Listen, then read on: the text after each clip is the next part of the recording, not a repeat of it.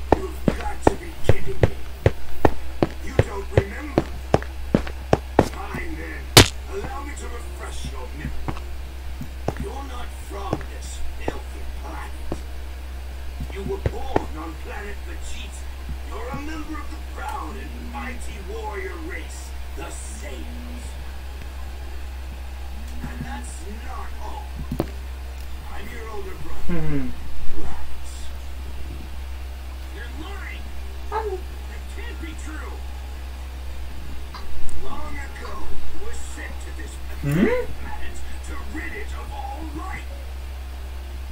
We Saiyans search the universe for habitable planets and wipe out all Love you. so that we can sell those planets to the highest bidder. We snot-nosed brats like you are sent to low-level planets like this. And fortunately, it looks like this one's got a moon. This guy's telling the truth, and these Saiyans are real bad dudes. Wait. What What about the moon? What does that have to do with anything? Don't play dumb with me. We Saiyans release our true power whenever there's a full moon. Even